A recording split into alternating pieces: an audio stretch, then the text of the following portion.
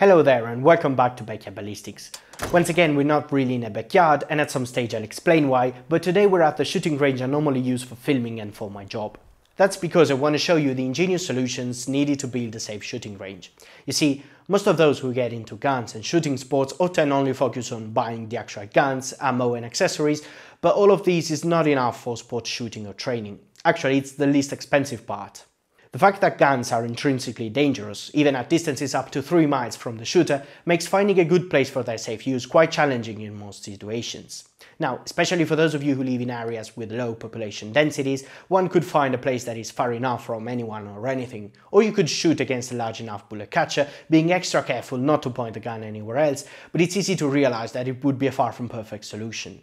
Similar considerations apply to many other sports and activities which require an infrastructure to be enjoyed at their best.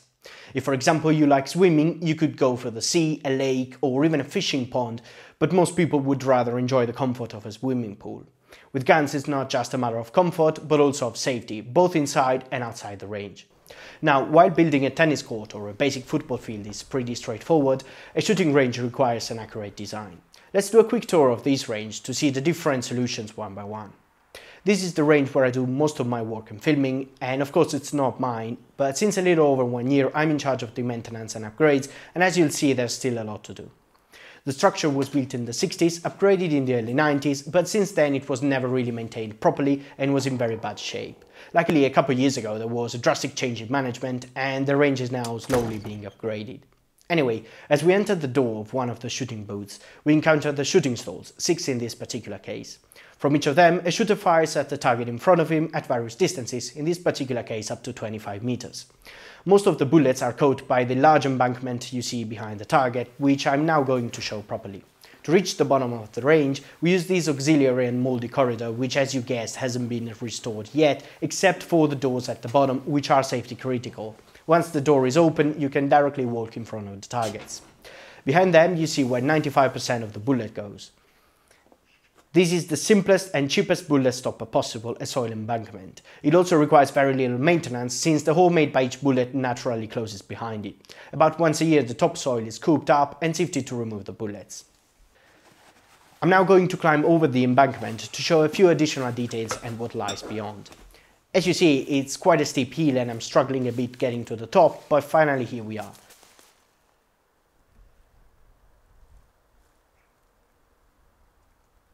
Even though there is absolutely no chance that anything could pass through this much soil, a one foot thick concrete wall closes the back of the range.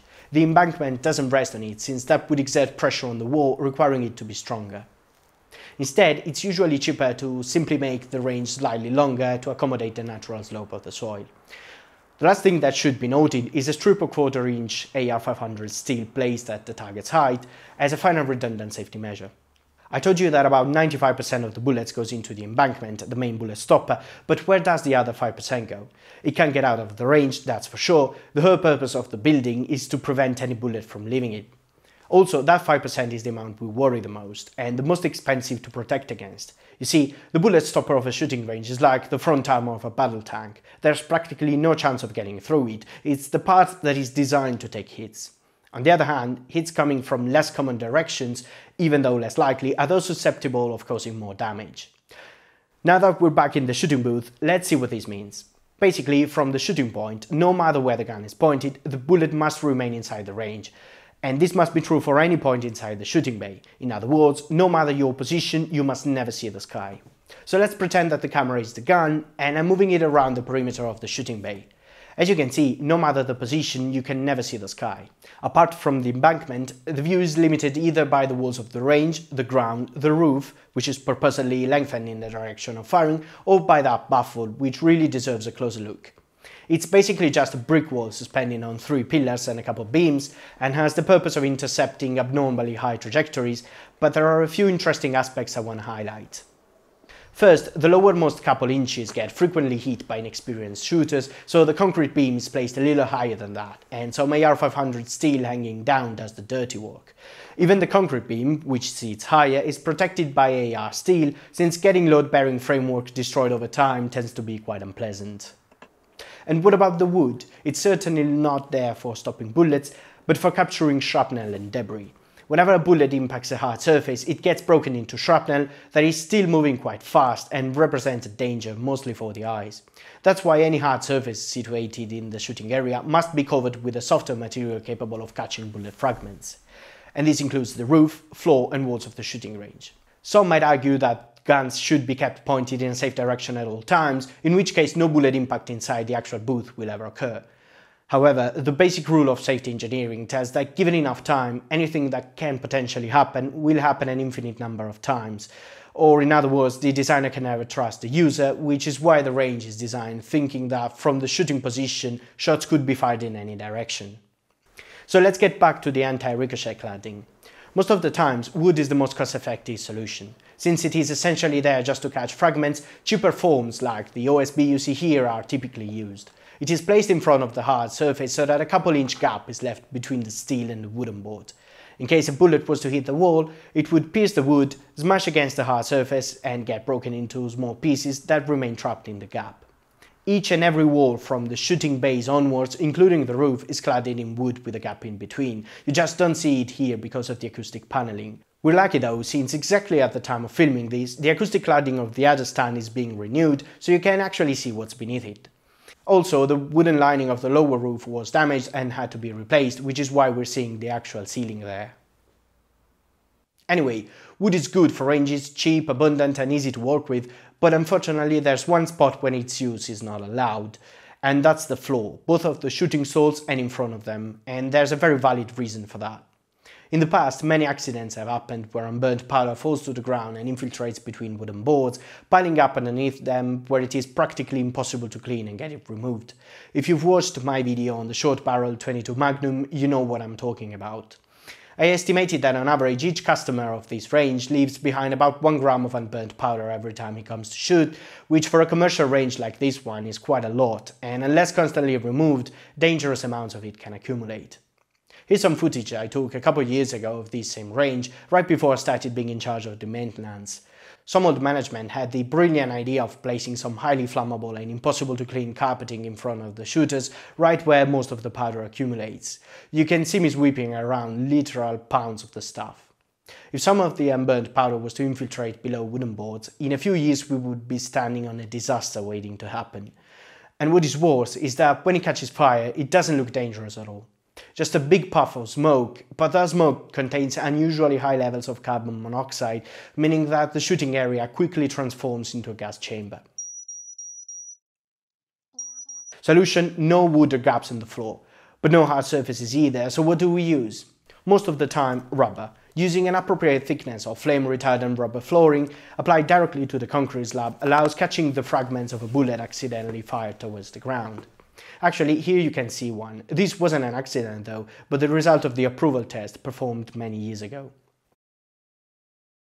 In front of the shooter you see a similar rubber flooring used, but this time a concrete slab is to be avoided to prevent ricochets. The best solution is using mechanically stabilized sand. Basically, these interlocking honeycomb plastic structures are placed on the level ground, filled and compacted with sand and covered with a thick rubber flooring. The result is a composite floor which feels very solid when walking over it, but lets a bullet go through with great ease and safe repairs after. All of these while being over 95% sand by weight, which is the ultimate fireproof material. For the first time in this video, I mentioned ricochets and the need to avoid them. You see, what I described in now would be enough to stop any direct hit, but wouldn't be enough to stop ricochets if it wasn't for these last two elements, side baffles and mounts. These two are there just for this purpose. You see, any surface, even the softest, has a critical ricochet angle. If the angle between the bullet direction and the surface is lower than the critical value, the bullet will ricochet instead of penetrating through. The softer and lighter the material, the lower the critical angle will be, meaning that it will have a lower tendency to make bullets ricochet. For example, for water the critical value is about 10 degrees, so only bullets hitting the surface at very narrow angles will ricochet, while harder and denser materials can cause ricochets with much greater angles. Once again, we see why any hard surface has to be cladded in something softer, typically wood. But even wood and soil have a critical ricochet angle of about 30 degrees, much larger than that of water, so in order to avoid bullets skipping out of the range, we need to make sure that from any of the shooting points, no surface rests at less than 35 degrees. Both the walls and the ground of the range, if left flat, would violate this condition. For the walls, what we do is to place these additional baffles, simple brick walls clad in wood, angles so that an incoming bullet will hit them with an angle larger than 35 degrees. On the ground, we do exactly the same, but it's even easier since we just have to pile up these mounds. Now, on some small surfaces, ricochets can still happen, for example on top of the mounds, so for those regions we have to make sure that any of the possible ricochets will hit another surface inside the range, in which case the ricochet is considered acceptable. If instead there is a chance for some of the bullets to ricochet out of the range, the geometry needs to be modified to compensate for that. Anyway, that's all I wanted to tell you today. Once again, a huge thanks goes to my patrons, which as usual are all listed here. Thank you all for watching, subscribe if you'd like to see more, and I'll see you next time. Bye.